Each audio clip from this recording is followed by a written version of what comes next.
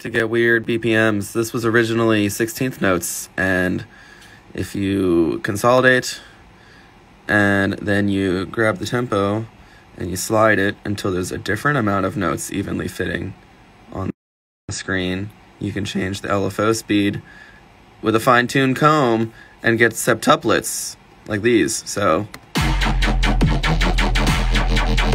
oh, gotta do the other layers. But it's frustrating because when you're doing like 15 layers at the same time. This is actually only three, so I need to shut up.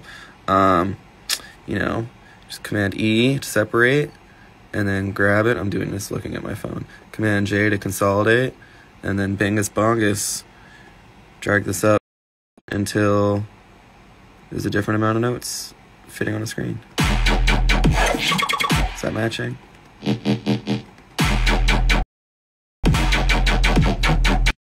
To say these actually started as uh, 1 over 12 notes, triplet eighth notes, but um, what I did was, so there was originally like eight notes fitting into here, so then I consolidated it and dragged it. It was actually these right here. Consolidated it, dragged it, so it went from eight to five notes fitting in the same space, and that created septuplets, which is an LFO speed that you cannot attain normally, but it's an LFO speed you can attain via dragging stuff um, with the grid off.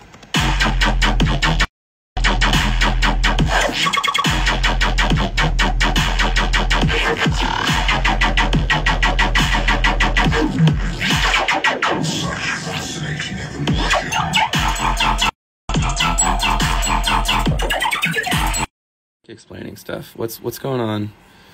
What's making this ringing sound? I'm pretty sure it's grain delay. So there's this operator. It's the same as the long note in the first drop.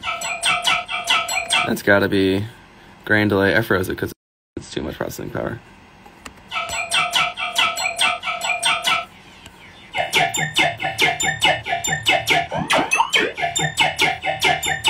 There's some light processing going on. You know. Another fun fact about this project file, better example made in the first drop. Oh no, my CPU is spiking again. I'm gonna die. Oh geez. None have survived.